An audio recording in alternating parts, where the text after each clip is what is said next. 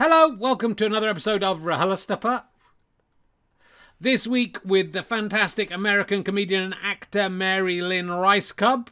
Uh, this one was recorded uh, the day before uh, I was having a operation, which you will hear about uh, in the podcast. Uh, everything is going okay.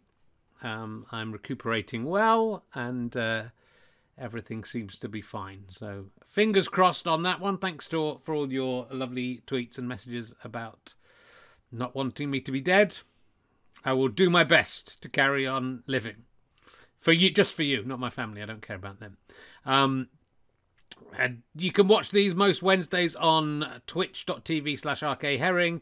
Uh, we'll also, once I'm fully recuperated, be back to doing snooker and Twitch of Fun Series 2, which hasn't been fully commissioned yet, but I'm hopeful will be returning at some point very soon. Uh, don't forget to subscribe on Twitch if you can. If you're with Amazon Prime, you can give us money for free, or just follow me on Twitch and you'll get notifications every time I'm live.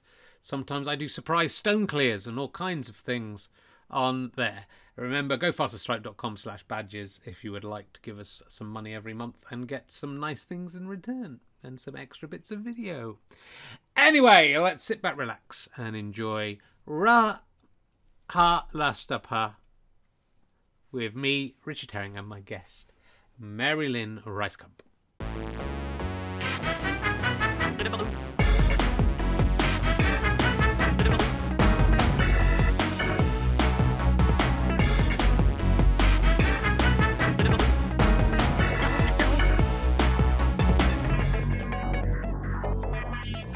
Hello! Please welcome a man who's 12 hours away from an operation. It's Richard Herring. Uh, welcome to Richard Herring's live stream transatlantic podcast. Uh, though I was hanging around with uh, all the players in the Self Playing Snooker Federation on Monday. They call it RHLSTP, but I don't know if that's going to catch on. My guest uh, I've been talking to before the show said uh, she watched the Self Playing Snooker to get an idea of who I was. I don't think that's the starting point for uh, Richard Herring.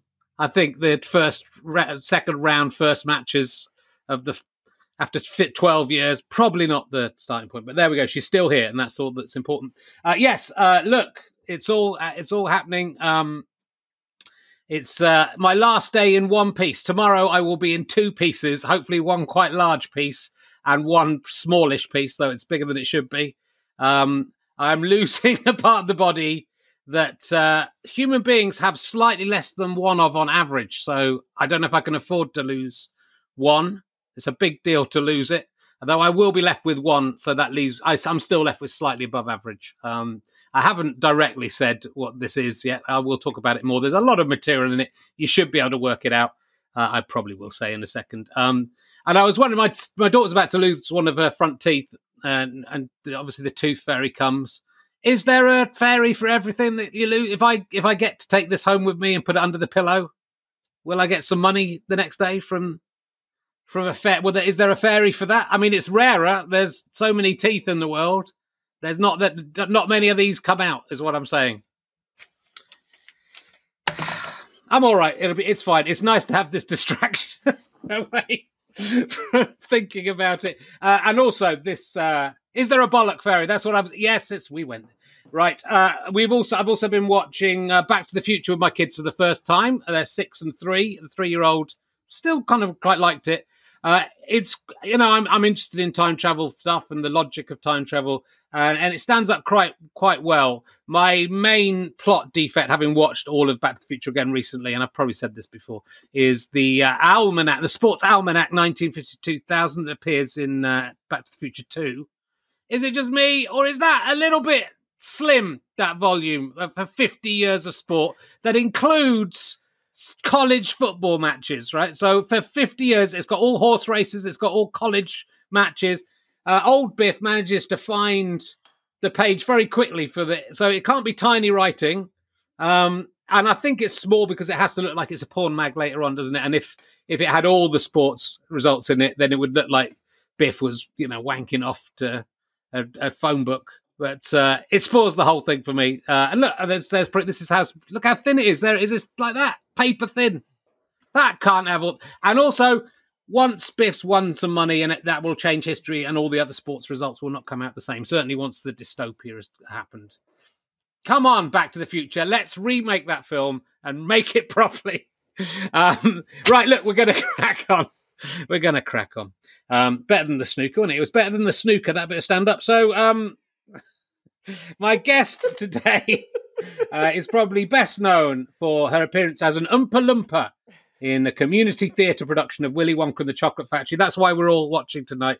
Uh, to see that. Uh, will you please welcome the amazing Mary Lynn Rajskub, Club, ladies and gentlemen? Hopefully, uh, oh, which one? Do I, oh, both there. Hello. Hello. How Hello. are you doing? it's lovely to see you, and lovely to meet you, and lovely to talk with you immediately about my testicles. So uh, nice to meet you, and thank we're, you. we're we're very close now that I know about the testicles. It, do you want to? Do you need to describe them a little bit further? well, one of them's. A... I mean, do check your bits. Is the uh, uh, luckily I have was checking my bits, but mine's usually there's lumps and bumps and stuff. Mine's mm. just quite big and hard, uh, and it's oh. it's in the oh. it's in the middle. So uh, there's no there's no lump and bump. Wherever it is is in the middle the only way, Mary Lynn, to find out what it is the hard is to take it. candy is in the middle. How many is. licks you gotta take, you do? You got to take it out, and then you can have a look at it. And you know, if there's nothing wrong, they'll go, "Oh, sorry." Oh, but it's it, a tootsie roll that would be in the middle. do, you, do, you, know those lollipops? You lick uh, it. Yes, I, am aware the, of them. Yeah. But it wouldn't yeah. be hard. It would be the reverse. No, so it, they were very good. We have a thing called the NHS here uh, in the UK, which uh, will treat you for no extra money. You don't have to be in my face about that. I get it. You guys got health care. I get it. Yeah, but did you notice it, or did you have to go to the doctor? I noticed have... it. I noticed it, and then I thought I thought I'll ring the doctor, and I went to the doctor, and the doctor said, "Don't worry, it's nothing, but we'll send you to hospital to get checked out anyway." And then the woman at the hospital said, uh, "It isn't nothing. There's something in. There's something lurking in there." What if it's, it's a quite... diamond? What if you're making diamonds? what if it's just a very big sperm? That's what I think. What if it's just? I'm like, oh, they're, they're, no. It could be just be a really gigantic. It's eating all the other sperm. Was that like a total male female? I wanted it to be a diamond, and you wanted to be sperm in there. I wanted to be a, a, a fish. Look, I've I, this. I've got this coming to me. I've done so many jokes about genitalia in my life. I did a joke about imagining having a, a, a sperm the size of a trout. So you know that would be it would be payback if that happened. Nearly, I I think I'm in Inception now. This it's is true. a super strong sperm in there going. Let me get me out of there. Like I'm ready. we're gonna go. get, we're gonna get him out, uh, and it'll be probably be fine. So let's not worry about it. Um, You're gonna be great. You're gonna do but great. What, but thank you for coming to talk, coming to take my mind off it uh, the night before. Although we seem to be mainly talking about it, um, but that's okay. Uh, do you remember being an Oompa Loompa? That's the in Willy Wonka in the community theatre? I'm, I'm imagining you were a child, but it'd be great if you were sort of 28 when you played it. I was 42. Yes. was 42. My mother had to sew. She didn't have to. She did. She was a nice mom. Still is a nice mom. Um, a satin pink. The uh, the fashion. What's it? What the costume design? That's what they call that in in showbiz. Yeah was little overalls with knickers, so just below the knee in pink. And then you had to have a striped shirt underneath. And, you know, it was a pretty progressive. So they did not put us in uh, Oompa face. We went okay, with our good. own natural skin color. That's good. And I remember just lining up. I was very young. And then we had to recite because I think in the play, it's like a long poem. So, so you had to do two lines of the of the Oompa Loompa. Thank you for asking. I do remember it very well, Good. very fondly. Good, because his Roald Dahl's become a bit problematic in uh, recent years. Has well, things Why? have come out. It. He's he was very anti-Semitic. So, and and the Oompa Loompas are as well. I'm glad that you were a, you know politically correct version of the Oompa Loompas, but the Oompa Loompas are, it's a little bit dodgy. A man capturing lots of pygmies yes. in a yes. in a jungle and bringing yes. them back to from, work from in a factory. From the get-go, this was a bad idea, and then the casting just n- nailed the idea home. Well, but look, you know you can't hate you can't hate Gene Wilder, so you just I don't I don't hate you can't so I mean you, you can't hate Willy Wonka. That's right. I mean, so you're horrified at the Oompa Loompas, and then then instantly you're like, "Hey, it's fun. They're fun. They love it there." Good. I think we might be having some audio problems, but I think it's only for Twitch. So uh, as long as we can hear each other, I think we're okay. Wow, someone um, just took a crap on Twitch. Doesn't care yeah, about Twitch. Uh, doesn't don't care about Twitch. well if they can't hear us, especially. Um, Chris Evans is furiously trying to work it out. We've had a lot of problems with the tech, but I, on, I think Chris we should Evans. be okay. I think we should be okay because I think we're that's why we have Zencastr. Um, look, you are in my you're in a lot of TV shows and films. You're in my favorite ever TV show and it's going to be difficult for you to know what that is because you've been in so many TV shows. But can you take a punt at guessing what what I think the greatest TV show of all time is that you're in? Wow, the greatest TV. You've, you don't know much about me. you so, think could be anything? Yeah, I was a little bit nervous because of who you were, and then who you know who you represent to your country, and then yeah. that your podcast takes place at the Leicester Theater, I was like, uh, I better get my shit together. And then when I saw you playing snooker with yourself and talking about touching your own butthole, I thought, yeah. um, I will be okay. I'm not worried about impressing him.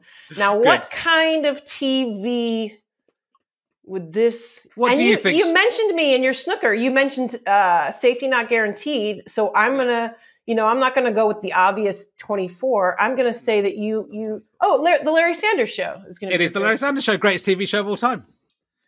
Pretty pretty I'm, fantastic. Yeah, and what was that? Because you came in into what the third season of that second or third season. Yes, I was um, a replacement for Janeane Garofalo. Oh right, of course. Who gave were, me yeah. her blessing, uh, you know, as being cast because she was ready to leave, and that experience was pretty fantastic. And I was very lucky to only be in a couple, a scene or two per episode so that I could handle it because I was very green and I, you know, very uh, underdeveloped socially. That, that's such a dramatic way to say that. I was a little bit awkward and a bit green sure. and a bit nervous and so that was the most amazing way to be thrown into something that was operating at such a high caliber and be able to yeah. kind of, you know, sink or swim, uh, which I, you know, was okay. Well, it's always difficult, you know. I think that coming in. I mean, luckily, I think with Larry Sanders, all, all, the main cast pretty much stayed with it. Certainly, the the principal top characters all stayed all the way through. We've just been rewatching The American Office, and by the sort of sixth or seventh season, eh, it's sort of you know hemorrhaging characters, and you obviously lose the main character, and then you sort of feel sorry for the actors coming in having to try and you know try and make something of you know go who are you in my favorite sitcom? Yeah. who are you? But i actually think it really it really worked with you coming in. I, I bought i I watched. I bought. I bought the uh, DVD box set of that maybe seven or eight years ago. So a while since I've seen it, but we what we watched the whole thing all the way through because it was one of those programs in the UK they put out really late at night, and you know, and sometimes some weeks it wasn't on. So to actually sit down and watch the whole thing in order, but it was just such a genius show. Yeah, and I think and I think you know all the the all the characters are fantastic in it, but it, we, I mean, you'd worked on uh, Mr. Show with uh, David Cross and uh, Bob Odenkirk before that. Yeah. So I presume that's what what how they you got they got you got their attention. Is that true, or did how yeah, did they... yes, ish. I I was coming straight from being a performance artist in art school, and Janeane was hosting a stand up show uh, you know, where you could go on TV and do stand up. So I had a small set on that, but I was just being very I like I was a performance artist, like the character of a performance artist, but it was really because I I didn't have the ability to collect my thoughts and speak in sentences. I'm getting better at that now. Yeah. You're but very good. Then now. it was like I was doing this performance piece as stand up and that was the tape that um, was given to Garry Shandling. Well, my the snooker's been. I'm working the other way. I'm trying to go back towards performance art. The snooker's been in a festival of transgressive art. Uh, well, I've played, I've me played number that. fifteen is quite a. me fifteen was uh, yeah. That was very good Viking. Ca- you know, I'm good with the accents and stuff. That's why I feel you're great so, with accents. Feel, the feel way so you transform into the different U's. It's it is amazing. It's amazing. I can send you all of it, and you can and you can start from the beginning. Yeah, your uh, skill eventually. is just mind blowing, you know. and I'm so good at snooker as well. That's the main thing. yeah. And my my snooker board is so good. You're keeping it on the board, you know, most of the time. I am. So look, that's one of the things we're t- doing comedy in lockdown. I never used to video. This used to be just an audio only, audio only format in the old days. But since uh, she's left, she's back. Um, since we uh, have had lockdown, I've started doing sort of a lot of these things with yeah. cameras and, and video. And uh, we're watching your special. You've done a pandemic special, uh, which is you in your garage um, uh, doing stand up direct to camera. Yes. Which is, it feels, it, it's a very lockdown. Of having been someone who spent, you know, 50 or 60 shows just talking to the camera and not knowing how the audience are reacting. It's a very lockdown show, and it's one take, right? You did it. It's just one static camera, so you talk for an hour. Well, and yeah, my producing partner and I were doing it, and when you start to you start to think too much you know like because if we had added in another camera we we played around with having like a side shot but once you do that, then it's as if you're saying, "Oh, we're I'm filming this," you know, and then you then it's going to be looked at as if we're trying to do something that's polished, and it's like, well, the, these are the limitations of where we are, and so we're going to use that to the best of our abilities. And it was coming off the heels of doing a live Zoom show a couple days before and you know she was the one that kind of nudged me to do it she said you know because i was slated to film uh, before the pandemic a comedy album and then lockdown happened and she said why don't we just you do the set you just did on this zoom show and we'll film it and and that's what we did and oh yeah. and then when i our friend scored it and he's brilliant at he's a comedian himself and he he knew what he was doing. He said he was going to drink a beer and then score it, and I had complete trust in him. Um, but you know, I watched a bit of it without the score, and I thought I'm proud of myself. And then once the score was there, it really emphasizes my my oddness and my way of storytelling. I was like, oh no, like what? what is she I don't doing? know. It's it's a bold decision. I've never seen. that. It's like a jazz thing almost because it's like you talking over music. For for you know, I thought oh maybe the music is gonna fade out or maybe it's just to begin with, but it's all the way through, and it's That's you know right. it's not. It's like sometimes it's a little bit distracting, but it's but also that's quite interesting because it sort of pulls you somewhere else and pulls you Thank around. You. But yeah, I mean the whole thing looks. I mean your stand-up persona, and I'm guessing possibly even your persona is is slightly it's uh, it's slightly out there, and so it's it's having a woman in a garage talking to you for an hour about how her dating is going badly in lockdown. It's you know when it's when there's an audience there laughing, it's a different thing than when it's just uh, someone. I'm you know, sorry, what are you trying to say? I'm trying to say, well, this is what people say to me when I'm playing with ventriloquist dummies and talking for an hour and an hour and a half it, you know, there's a danger that, that this is a, someone having an actual lockdown breakdown. Sure, sure. Um, and yes. you're sort of observing it, which is, I think, then it's like a sort of Alan Bennett monologue. You know, it's like an, like an incredible. It's it's a very good show. It's a very funny show, but I think it's. We were mentioning just before how it reminded Maria Bamford, who pre lock before lockdown was performing to one person, and then I, I interviewed her and said, you know, that is so must be so difficult. In a way, no people's easier than one person. I think, right? Because one person you're looking at their reaction and they they've got to go. they're they're very self conscious. Whereas no people, you got your cat was in. I think was your cat and your dog in the yeah. in the room. I had the um, dog licking uh, water out of the toilet. That was it. Uh, you know, it's up to my interpretation. Was it supportive or was it a heckle?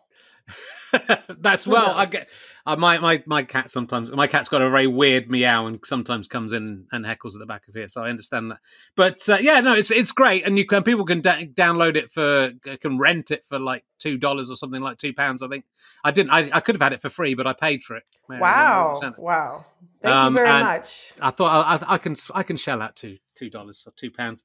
Uh, so it's very it's you know it's a good it's a good value. You can buy it for a bit more, or you can you can rent it and watch it. Uh, but uh, no, it's it's do you feel do you feel it do you feel like lock you know within this the the stand up it's about those sort of difficulties of lockdown? Part uh, partly there's lots of things i want to talk to you about it about this about the special because there's loads of great stuff in it. But you do talk about that sort of uh, going on dates uh, having recently sort of become single again, and uh, and that being sort of accentuated. Although the date stories, you just kind of happened across a couple of not great, not terrible guys, I don't think, but not not great guys. Maybe. You know, I got a couple of good stories out of it for my stand up. Uh, but I think what I've learned if I genuinely want to date, you ha- you need to text and then you need to Zoom and then you need to meet in person. Although I do have a friend who said, "Good for you for going for it," you know? yeah. Well, I there's mean- a guy who tries to pick you up at a laundromat who's just driving around a laundromat. Tries to. Oh, he does And- pick me and- up. that's what I'm talking about. That's that's why lockdown breakdown. You go on a date with a guy who's just driving around going, "Hey, Hey, let's see let your me face." tell you, okay? I had no makeup. It was a hundred degrees. The hair. I was I was with my dog. I was at the laundromat. You know what sold it is this right here. You see that? Yeah, I can That. I can see why I can see why he was excited now. Yeah. Having having seen that. Well, I had Um, my um my my I almost said stirrups. I had my leggings with the palm trees on them, so it really accentuated my luscious booty. Um, that's all I can think. I mean, unless Yeah. it's just this. This is just. He said I was friendly. In all honesty, he said I was. That I said hello back to him. So he Yeah. decided to circle back and use the opening line of, uh, "You still here doing laundry?" well, if it, if it were, the thing is, I think with guys like that, it's just if you try it enough times, and then he followed it up with uh, i just got my uh, registration for my car at the grocery store. There's a machine. You can get the registration tick sticker put it on your car. And it worked. I thought well this guy's got his shit together. I'm i'm interested he looks clean he looks handsome he's got a nice big car i'm in Okay, I think it's good. To, you know, I think it's different for women. It's good to take chances, with safety in mind. Um, I think it's you know, but it's it's also the, the it's not just COVID, is it? I mean, it's sort of not even COVID, really. It's you you've been in you haven't been dating for 10, 15, 20 years or something like that, and and then you're back into dating, and it's, it's not great it's not a great it's a- situation it's a difficult thing to get. But I think like the positive thing about COVID, uh, and I'm not single, and I'm very upset about that I'm not single now because that I've got a lovely wife and two kids. Because post COVID, upsetting post COVID, it's going to go crazy out there. There's going to be oh, a lot of you're you going to have the time. Yeah, it's going to be a uh, it's going to be a fuck fest. Is all. It's going to be like the purge of sex out there. I mean, I'd like goes- to believe you because we need some good news, but I don't think I think it's going to be so gradual and people are still going to be scared. Who am I? I think you're right. I think I'm just been traveling in the wrong circles. I've been around people who are very conscientious and concerned and not leaving their houses. I got a hit with the the party people who Yeah. are out licking toilets and opening ice cream and They were, but also I, you know, I can't, I, I can't imagine, you know, I can't imagine being like 24 and having to go through. When I was 24, when I was having very little sex anyway, but and was mainly locked in my house because I was too scared to ring anyone to say let's go out. But you know, if there was, if it was literally nothing, if it was a year of just being in your in your house wanking yourself stupid, then it would be it would be a very difficult thing to cope with. So well done to the young single people for getting through it. I well think it's going to. I don't think these young people. I don't mean to across the board say that they are like this. They're all going out anyway. Yeah. They, well, they definitely are. And of course they are. And people aren't going to stop dating. So, You know what they're probably doing is like covering their air and just like humping. yeah. I mean, it's ideal in many ways. You've got to probably come, come in from behind, no kissing. Thank you. There's always Beautiful. the behind option. Again, Yeah, it takes both of us. It takes the female and the male mind to really make the connections happen. I should open my door so my son can hear this part. I think this would be really useful. He knows it. He's 12. Really He knows everything. He knows, he knows all of this already. He- but no, it's a, it's a. I would recommend this. I haven't seen your other stand up special, though I love the name of the other stand up special, which is Mary Lynn Spreads Her Legs. But this is about becoming Yes. a, a mother, right? Is that what? the- Yes, that was that was never put on the old uh, celluloid vi- vi- video Oh, was it not? That was never taped. That was a live show. Okay. Well, that's, I've got an excuse for not seeing it then. because I couldn't have come. Thank across. you. Well, thank you for even watching this and for having me on. Sincerely, no. I appreciate it. It is my absolute pleasure. Um, and well, uh, the the other thing I've, uh, that comes across from the special, I guess, is um, it's sort of weird because you are you're so successful as an actor, especially. You really are. You're so successful. like you've worked constantly. Your you've tone. Worked... A couple minutes ago, it was like, what did you say? it this special is good. It's almost there's a qualifier, and this what I'm reading it, into it is you going. Why, why are you acting this way? You're successful. you're a grown woman. You're a beautiful angel. Saying, People like I'm, you. What is? I'm, why are you so disturbed the, and unsure all of the time?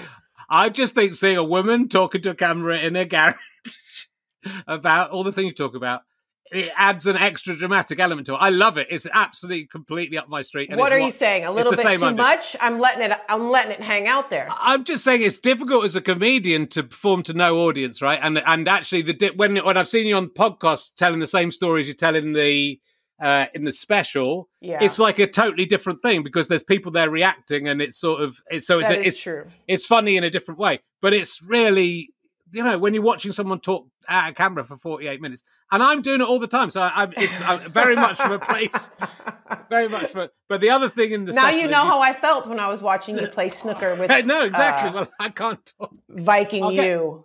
I'll get the I'll get the dolls out and in a gay me and yeah. me number 15. Yeah. Yeah, you've, you've, you've, only seen a few. There's there's forty of them at the moment. Um, but it's about the nature of fame you talk about and the fact that you've been, you know, in films and TV since the mid 90s and yes. you've been constantly working and yet people think they just know you from you know school or something from oh, the school my favorite. That's my favorite. When i finally own myself a little bit and they say where do i know you from? And i have that moment where i said you know what? Today i'm going to go for it Today, I'm going to be like Tom Jones going, Yes, you threw your underwear at me on stage. You know, I'm going to have that attitude. They say, Where do I know you from? And I say, From television and movies. no, that's not it.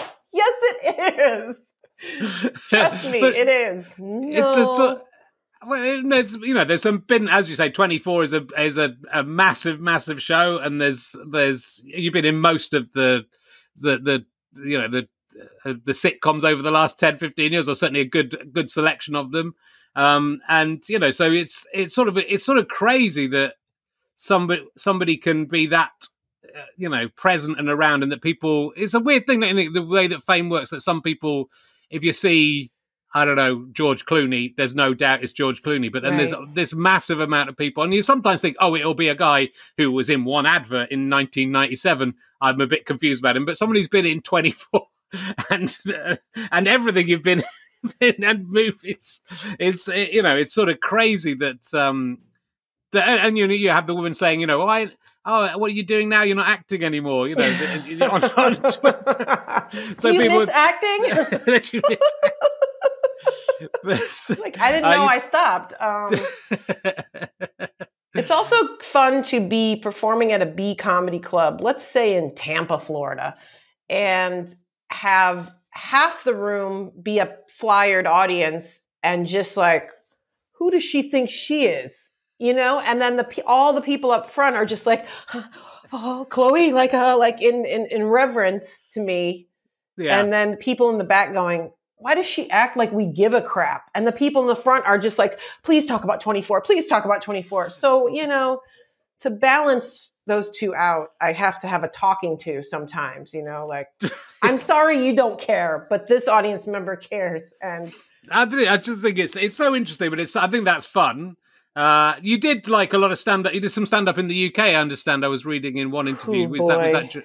Yeah. So how was that? I mean, again, people would know you in the UK from. Okay, that let's talk about it. That was uh, half of it was absolutely terrible and then the other half of it was wonderful. Now, the first, I'm wondering if I tried to go through my agent to get a couple of spots, but I know that the first couple spots I get were be, were because of like my celebrity, and so and I can't remember the venue. It's been too long, but it was a large theater ish Is it I the Soho Theatre? No, because No. that is sort of this place was echoey and large, and Okay. Uh, the stage was off the ground, and it was oh god, it'll come to me after we get off of here. The other people that were on there, as soon as I took the stage, it, was late. They were drunk. Just just my body language, you know what I mean? And then the the first syllable out of my mouth was just like fuck you like they just the sound of my voice like speaking of being a woman in her garage speaking like you have to be you have to be wanting to see that. Like i did not come out with any posturing. I did not have the references. I did not have the same accent. I was not also drunk. And they i mean I don't know if I was being booed off the stage. I did stay for as long as I could, but there was no there was no rhythm, there was no connection, there was no ability for anybody to. And then, then I did another one that was like an open mic. I I feel like this was in your I'm making this up. Is there a comedy store in like Piccadilly or something? Or- Yeah, yeah, it is. Yeah, it's moved there. I think now. Yeah. uh, so they do a thing where they it's like a gong they gong you off and you have two minutes now meanwhile i'm have been going on the road i'm there doing an acting job you know i'm trying to work my stuff. I'm gonna I'd like to go and do a set at night. I'd like to go and at least do a 10 12 minute set. Here i am going you know basically it's like see if you can stay on stage for two minutes and it's like this is not my idea of No. you know work working some jokes out. And i'm staying until like two three in the morning because you have to put your thing your you know your name on a piece of paper. And i finally get up there and it takes the first 40 seconds for people to realize who i am. And then they just start yelling where's jack bauer? and like throwing stuff. And i was like okay this has been an exercise And i don't know what for me just like pure self-torture uh so that was that. But then I did something really smart on my part, which seemed ridiculous at first. I started cold, just like Googling smaller rooms Yeah. and reaching out. And, and, you know, you get people's website and everyone wants to, spe- I feel like, especially in the UK, everyone wants to look like their show is amazing and official and like hard to get on. But once I kind of broke through the wall and just was like, I don't know if anyone will email, email back, most of the time people did. And they were super happy really nice, really genuine. And then it was the best ever when I started meeting all the comics that were actually out in rooms, you know, comparable to how LA would be. Once you find all the rooms where people are hanging out and doing comedy and even watching each other, you know, like yeah. where and I met really great people and yeah, I would just go out on, you know, on the tube at night and not getting off in dark places and walking to weird pubs and going down into the leaky basement and Yeah. that, those It's- were some of the funnest sets ever. Yeah, well, there's some great clubs in London. The Gong Show is like absolutely like the wrong place. That was wrong. That was yeah, wrong. well, it's very much feels like my wife did it, who's a stand-up as well, and she did it and won it one the, the time she the time did. she did it. Yeah, but uh, but that was sort of incredible. It was sort of incredible because she's she's quite a sort of shy kind of introverted performer Fantastic. as well. So it, so it wasn't really her, her exact audience, but she really kind of got it. But yeah, that was right near the beginning when she started. That's So it's not it's not somewhere to go when you you know know what you're doing, and it is what is that when you're doing something esoteric, which your stuff is. You know, you're a lot of the stuff you're playing when there is an audience there. You're playing with the audience like almost, you know, you're, you're taking it slow and you're you're, you're playing around with that nervousness of oh my, you know what, what what's happening here and is, Right. it, does she know what she's doing or does she not know what she's doing? Right. I'm And not it- you know, very like hit you over the head presentational. Get get used to my hard hitting opinions. no, but it's good because it's again, it's sort of like a it's like a performance piece as much as anything, but it's it's you as well. It's you you're out there, and I think that's got eh, certainly in the UK that's got more easier to do in the last ten or so years. You know, I think when I started in the nineties, I I didn't really. I, I was I wasn't confident enough to kind of grab an audience and wanted to be more esoteric, and it wasn't. It was really stamped down. Whereas I now what did think, you do? that- Did you did you work within that? I sort of did and did it. Some, some. I just, I, I didn't do very well to begin with because I was, uh, you know, I'd, I'd I'd either do really well or really badly and nothing in between. and and I, then I sort of started trying to second guess what I thought the audiences or the promoter would like, rather than doing what I thought was good. And then I just got into a spiral of oh my god, I don't know what to do anymore. And I started working in a double act, and that sort of started taking off, and we went in different avenues. And I did, I didn't really like doing stand up to begin with, and then I came back to it in about 2004, and then that's when it it really sort of made sense. Or two, yeah, in the 2000s, it sort of really made sense to me, and and then I also just started doing exactly was it, what was I it wanted. that you were different or the scene was different or both both i think i think weirdly because the stuff i'd done in the 90s had slightly influenced me and i worked with stewart lee and I think our stuff had slightly influenced the comedy circuit itself, so we fitted in a bit better. But also, I just completely went, "Fuck it, I'm going to do." I did a year where I just did whatever I wanted to do. How I did a I did a, a 40 minute set about buying yogurt, uh, and uh, you know, and it was just about how long I could keep that idea going.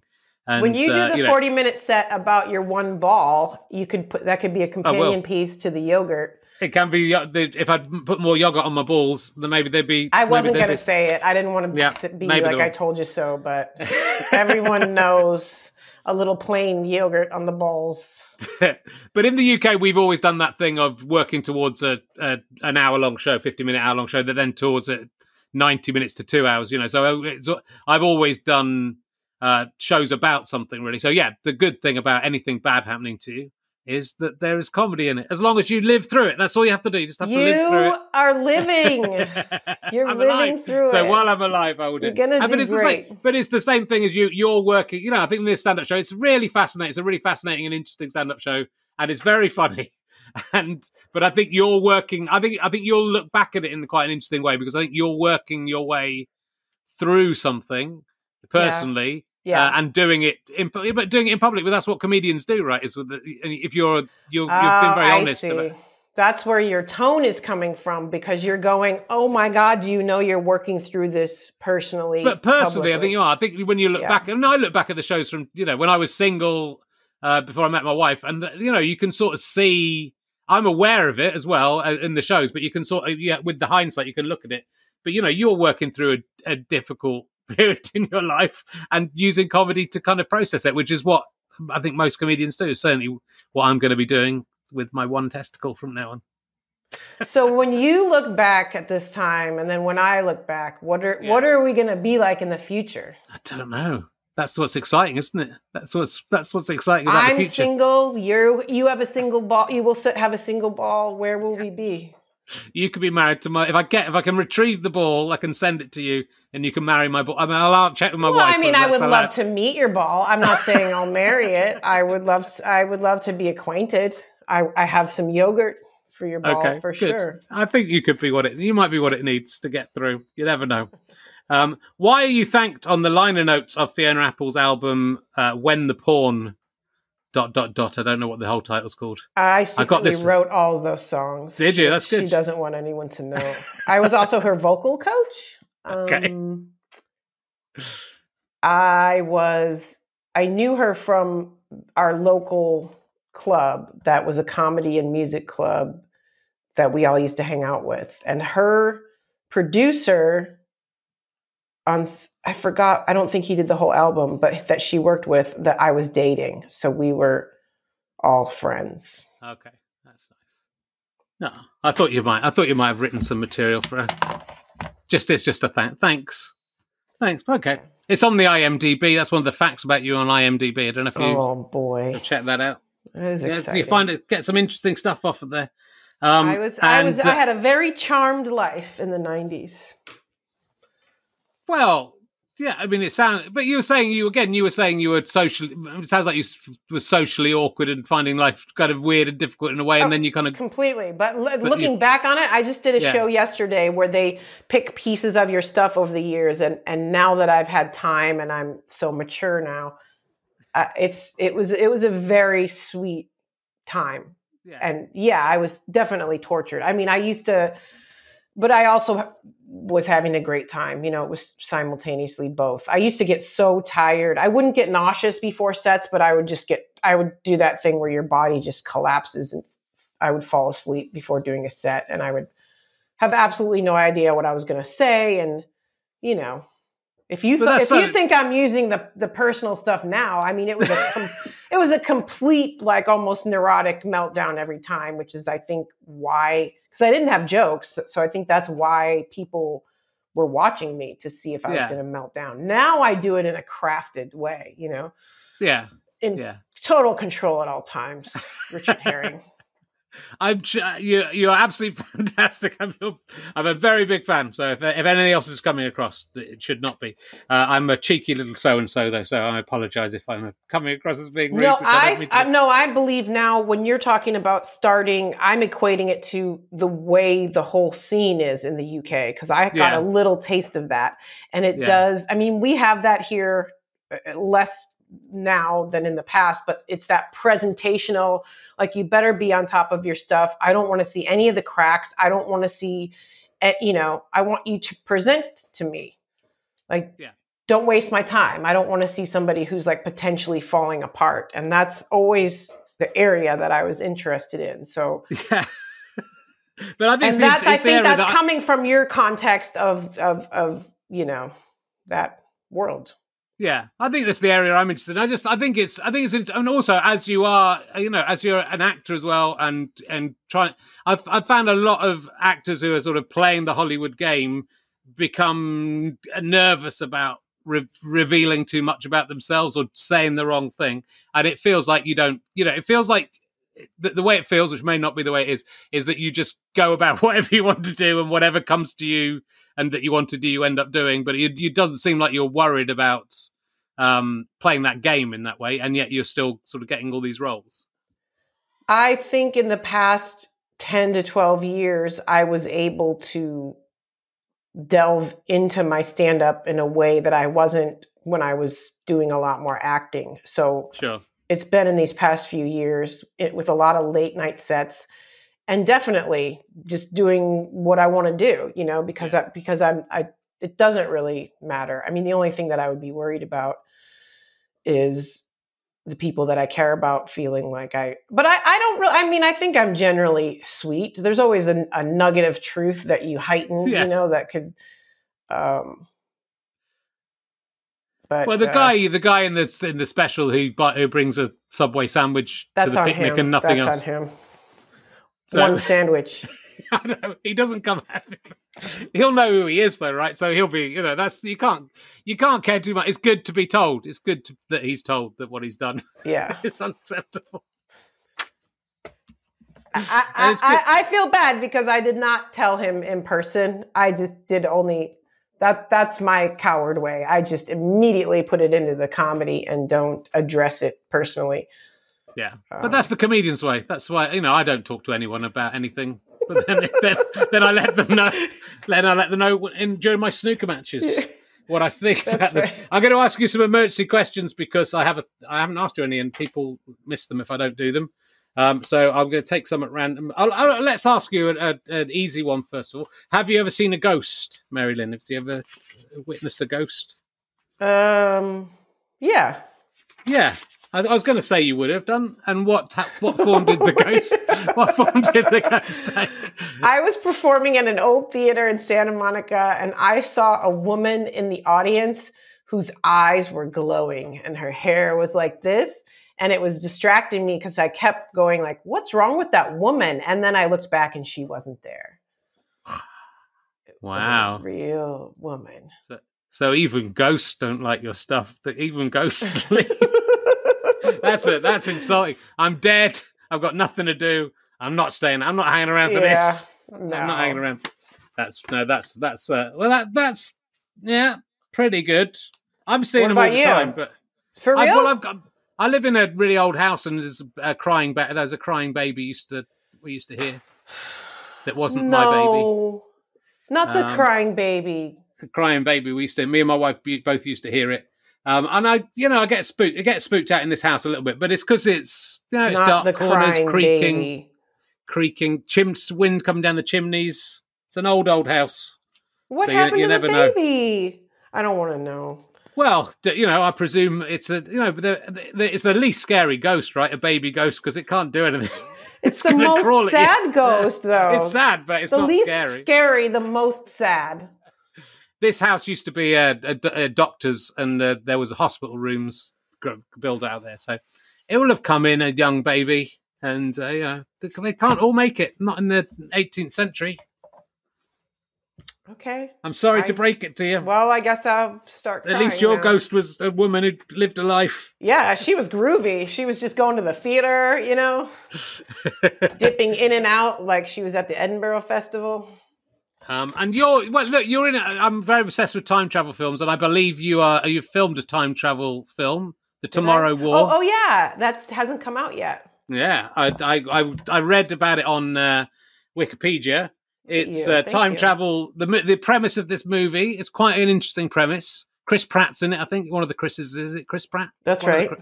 That's exactly Chris's. right. Um, he uh, the the Earth is under alien attack, Yes. and they use time travel to bring soldiers from the past to fight the aliens.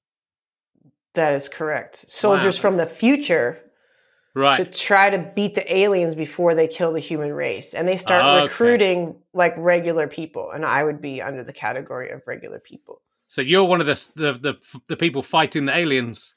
Yeah. In it the was really cool. Yeah. It was really fun. Well, I love sci-fi stuff and I love time travel stuff. I'm very, very. It's good you haven't seen it because I'm very. I'm. I, I need it to absolutely 100 percent work logically. So. well, I'll be very curious. No, I am not.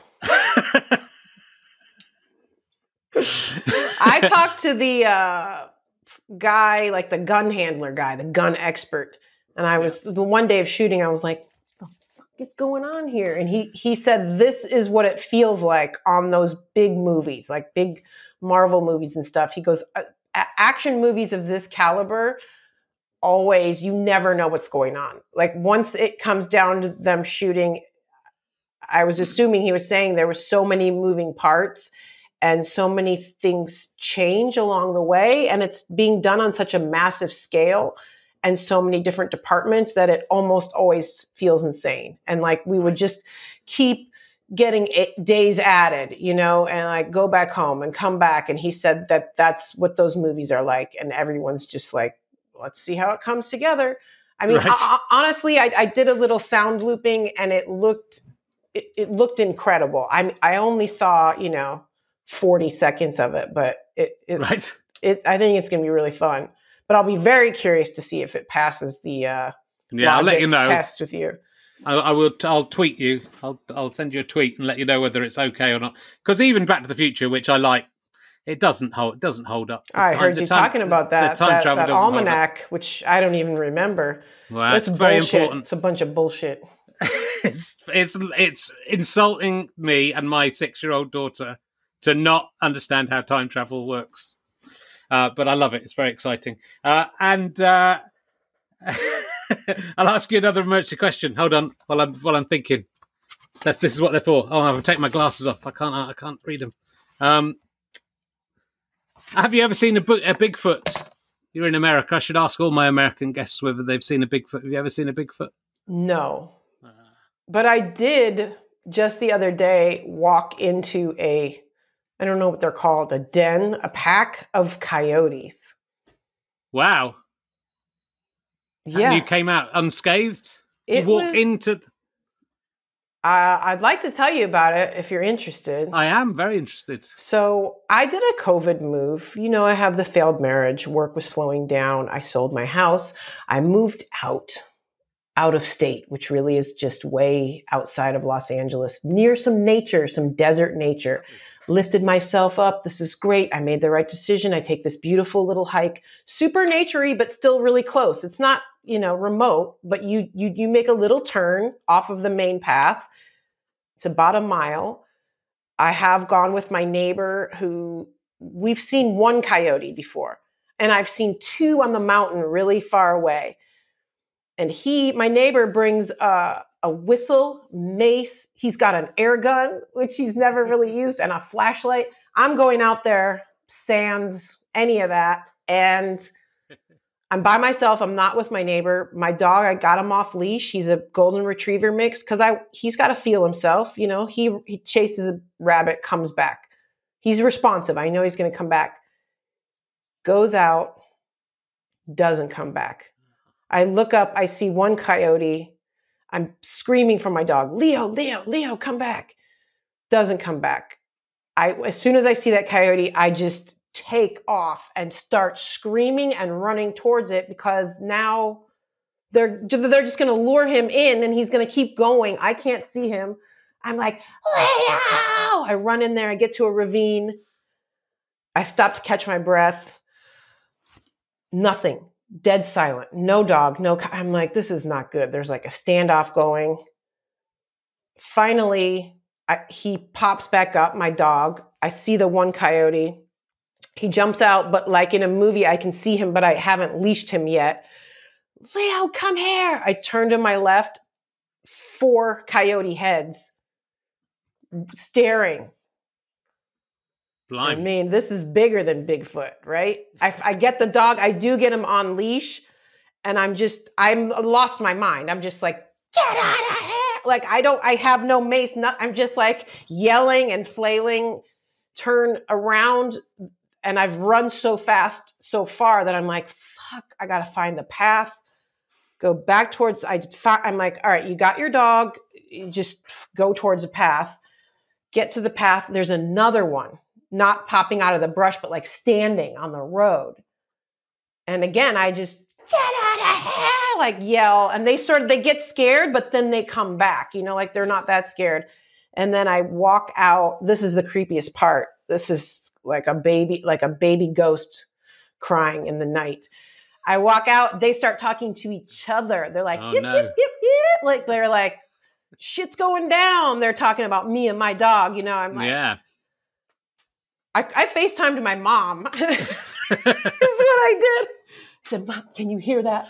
We just, we made, I beat off a den of coyotes. So that's my, uh, wow. You- You got away and you you survived. And then my you- dog afterwards, like he's agitated, but by the time we get to the end, it's like he forgot about it. Like, can you just be there with me? Can you share my reality and understand what we've been through together? He doesn't even acknowledge. Can you believe? I can't I can't believe uh, your dog. I just can't. I'm I'm just yeah. I can't believe the way the dog has behaved in that story. Just another disappointing relationship. My dog acting like it didn't happen. All right, I'll ask you another a date. This is a date based question. Oh, Would you rather date a man who was a six foot tall penis, or a man who instead of having a penis had a tiny man down there instead? So it's a different. It's a, diff- Wow. it's a That's a great person. question. Does Thank the you. tiny man have a penis? Um, it probably well, I imagine he might have another man. I think if I think the tiny man, the giant penis, I think doesn't is just a penis. I don't think that has a penis. Right. The giant penis. I think the tiny penis man probably has another tiny man where his penis should be, and so on to infinity. And then if Right. you look backwards, the man you were w- with would probably be uh, on another giant man. Wow, that's that's tripped out. Uh, Yeah. You know, it seems like the Any large the, the large penis would be more basic and kind of exciting just to wonder at it. But Yeah. I, uh, in my mind, is having fun jumping from one to the other back and forth. So thank Yeah, you for that. Uh, Yeah. That's why it's gonna a, go- di- a difficult choice. it is a difficult, difficult- choice. That's uh, why and a I great don't ask easy questions. No. Uh, the, the the the the man in the place of the penis. Yeah. Yeah, I think that's the. I think a lot of people feel the the six foot penis man would be intimidating. Well embarrassing to be around. You know, I think it would. Oh. You know, you'd have to go on dates with it, and people going, "Is that is that a giant penis?" Even if he dressed up a bit like a, put it like a. Maybe I'm on. the perfect girlfriend for him because I just said that's intimidating. Like I wouldn't be embarrassed. I'd just be like, "Aren't you scared? Look at my date. It's a giant Yeah. penis. Are you intimidated I think you might be. I think you might be the woman to take that on. I think you might. Maybe I Um, have already. You know, Maybe, maybe I have. So, oh, and you did the Edinburgh Fringe in 2016, which was about the only year I didn't do the Edinburgh Fringe, so I didn't Oh. get to see your show. How did how did you enjoy the Edinburgh Fringe? You know, it was fantastic, just the atmosphere.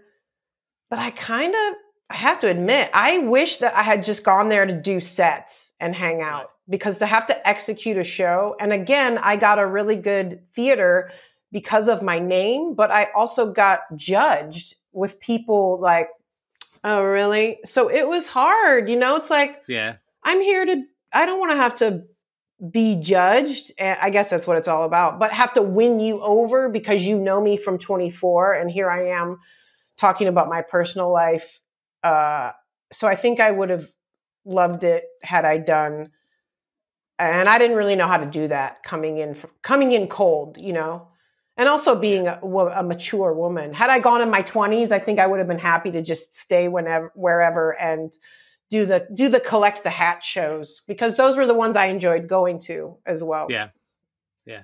I think it is. It is. You know, I've been going there for since I was uh, nineteen. I think was the first year I went Whoa, there. I've done, wow, you've had a done, different, yeah, yeah. So and absolutely, as a man in my fifties, and I haven't gone up. Well, it hasn't. It hasn't. Wasn't one last year. I was meant to go last year, but yeah, it's it's a different experience when you when you're a little older. But uh, yeah, it's it's yeah, it's interesting to come across.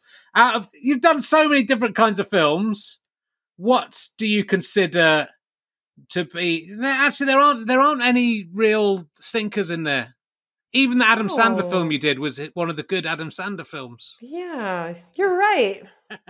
is there any that you, stuff? Is there any that you think that was that was uh, I'm I'm because with films, I'm guessing you don't you get a script, but it changes, and you don't know how it's going to be, and you don't know who's going to be in it, and you don't know how it's going to go. And so often you think this is an exciting project, but it turns out to be a bit of a uh, you know a bit of a turd at the end of it. But uh, is your pro? Is, are you choosing films carefully, or just taking stuff that comes along? Because they seem to be. There's a lot of very very good films. And well, I think all the stinkers never made it to the light made of day. It, never made it out at all. I, I, no disrespect to the amount of I, that. That's not even true. Not that they were stink. It's a lot of smaller films. Yeah. That don't make it on there. Um, that maybe just didn't come together completely. But uh, now I feel bad, like I'm disparaging smaller projects. No, it, I, no, I didn't no, mean that at all. Uh, all I can say to that is uh, thank you. And yes, I've I've chosen well. Yeah, because I work with the I only work with the best and I only do the best. How about that for an answer? That is I'm, a very good answer. Because I'm a queen, and if you go on a date with me, bring me my own eh sandwich. Bring me my own sandwich. Do you do you, do you seem to take like part? I think like sometimes someone get, like has a big big hit in something, and then they will only take like the a lead role. Even you're saying in this sci-fi film, you've you've done something that's a few days filming rather than like a, a major role in it. Are you you still seem happy to take a smallish part in something. Oh, I don't have the opportunity for lead roles. But you've been you've been you've played bigger roles in some things. So, but but some people would some actors I think get sort of. I think it's a much better way to act is to go look. I'm going to take this role. This is an interesting role. These are they're all good roles you're still doing. Yeah, but, and I think uh, that's exactly the logic. Yeah. It's like and there there's kind of a blessing in something that's more limited and doesn't take all of your time you know it's kind of cool to be able to try on different things that are interesting and and smaller but but do a variety of things yeah but obviously I do a little bit of acting. I don't. I'd like to do a bit more, really. But I, I find it, and my roles are usually pretty small in the things I'm doing. But I, I, I sort of agree. I kind of like going in for a day or two because I sort of start to get a bit bored and cold. Yeah, it's, quite, it's, it's sort best. of not as it. It's not. And you don't have the pressure of trying to carry the whole thing, right? Yeah, yeah. But it's kind of not as interesting. I suppose all the stuff around it is exciting, but the job itself is often a lot of doing nothing, right? Or or or doing the same thing over and over again, at least. Yeah, I I don't really mind doing it over and over. I mean, it's a completely different beast than you know, from live performing where everything is so in the moment. Like you have these parameters when you're on a set where it's, you know, you're just doing part of that scene for the next four hours. Yeah. And there's a kind of a cushion, there's a different kind of a, a safety which might drive some people nuts. It's just a different feeling because you know that you can usually you can have another take and try it another way. Yeah. You know, and then you can go have a snack someone you, did... someone will brush your you know the lint off your shoulder. It's a very uh it's a very blessed way to be. So sure. so yeah the hours in between are completely dead and terrible but you sort of live for these moments where you get to have that special time. And was it was this what you sort of envisaged happening to to become to becoming this uh you know i mean comedian and actor you di- it didn't feel like you from looking at your life story that that you had that big plan. You were sort of doing art, and then you sort of drifted into doing comedy from the art. Yeah. Uh, was was it was it something you sort of anticipated you would you would get this three four decade long career as an no, actor? No not at all. Not at all. I just uh, I, I really liked performing, and I I had the ability to or the courage or or whatever word d- dumb blind faith to to go towards something that excited me and that I wanted to do at the right time where I could get away with doing that and then the rest is you know pretty magical it's great. Um, uh, you're on Cameo. I've talked to uh, Ian Michael Black about this because I was surprised. I'm sur- I was surprised how little he charged for his cameo. You charge less than Ian Michael Black, and you are Really? way, you're way better than you're way bigger and because mine he's- was less and somebody told me i needed to charge more You should charge. You should charge more. You, it's too cheap. I'm going to be making you do all sorts of stuff. Yeah, I'm gonna. okay I'm going to be employing you over the next few weeks. you mean when uh, you when i get your ball and we start our relationship Yeah. you're gonna have a say in, in raising all well my do. prices across the board i i think- welcome this I think you got to charge more, but at this rate, you know, I can I can employ you every week to, to do something stupid until I until I I'm tired of it. Is it is it worth your time, your valuable time to to record these Uh, messages? you know people? in this crazy world Yeah. Ye- sure because i think it's a really sweet thing to do and in this crazy world i i look at it as another medium at this point yes Right. of course i have the time Good. And have you been have you been working during lockdown? Have you managed to get acting roles? Because in the UK, the acting business seems to have been allowed to carry on a little bit. Really? No, I haven't done. And I did one independent movie, and as soon as I arrived, someone on set got COVID, so I sat in my room for a few days. So that was harrowing, and I've just been kind of pivoting and doing, you know, doing the special, doing writing, and yeah, writing TV, writing other stuff. Sure. That's inwardly reflecting. A lot of. Uh, lot of reflecting. I've got more acting work in lockdown than I, I think I've had in the last ten. I've done about four acting jobs in the last three or four months, and that's No probably as much as I've done in the previous eight years. How? Tell So- me everything.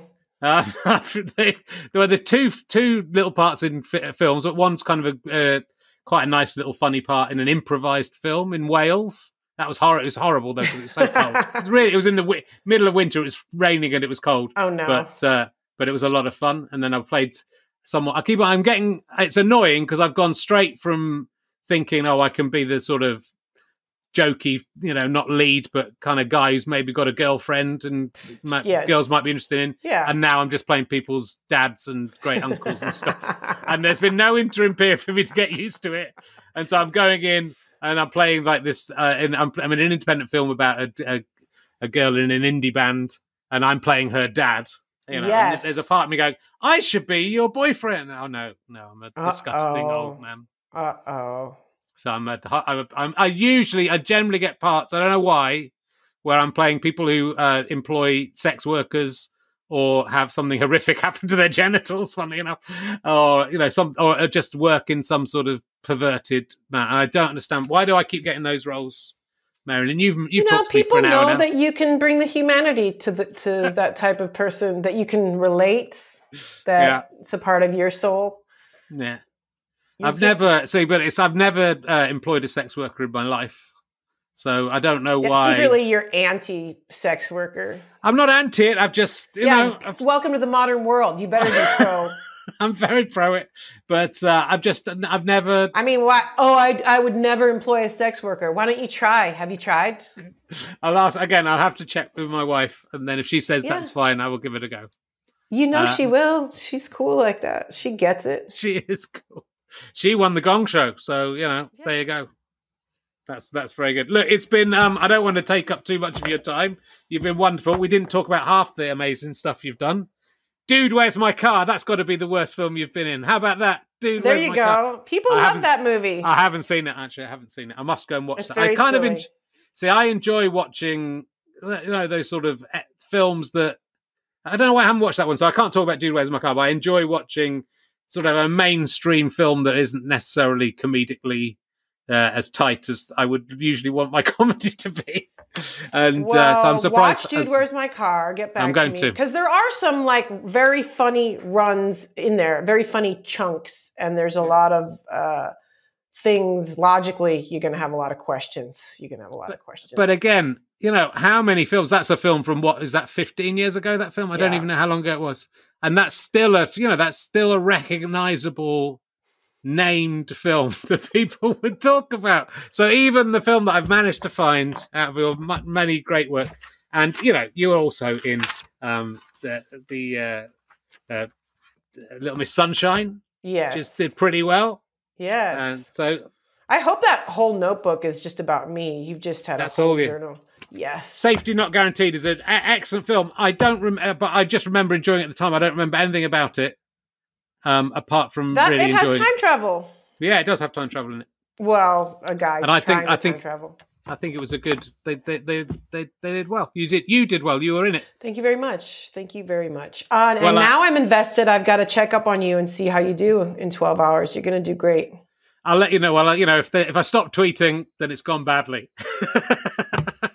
I'm going to take a couple of weeks. You start Well, tweeting actually, it in all I'm ho- Yeah, I'm hoping I'm going to be back next week to do this. I'm talking to Jeremy Paxman next week, who's a very famous interviewer in the UK who interviews politicians usually. So I'm hoping I'm going to be well enough to do that. I think I will be. I don't see. I hope. I hope talking with me has, has prepped you for this. Uh, It has. It's you know. I feel. I feel like I don't want either of my testicles anymore, having met you.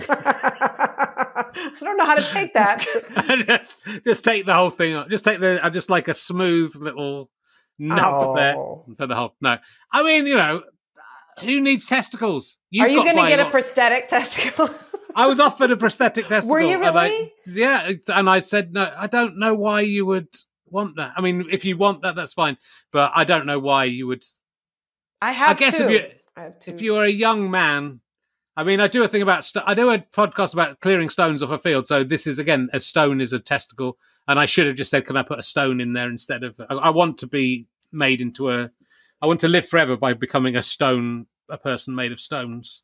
oh, And I could, I could have it'd be started like there. having a grill, but for your uh, Yeah, testicles. yeah.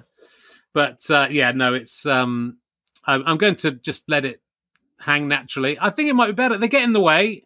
You've managed your whole life without having testicles. I'm presuming. Yeah, I'm making some assumptions great. there about you. It's been great Um, without testicles. And you know, I think without them, I'm annoyed I'm still going to have one.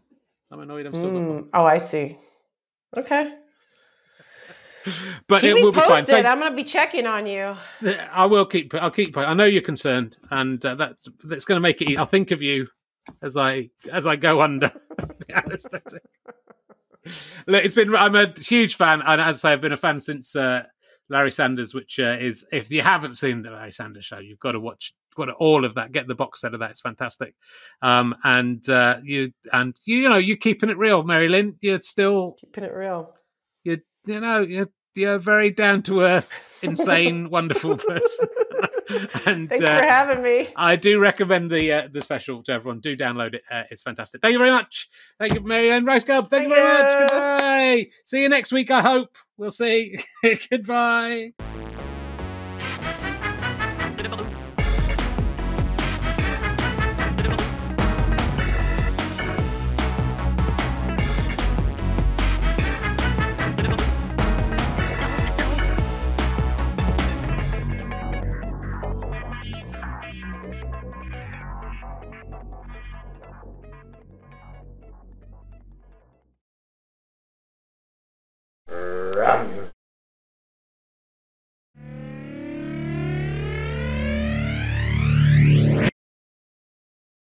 How'd you like them sky potatoes?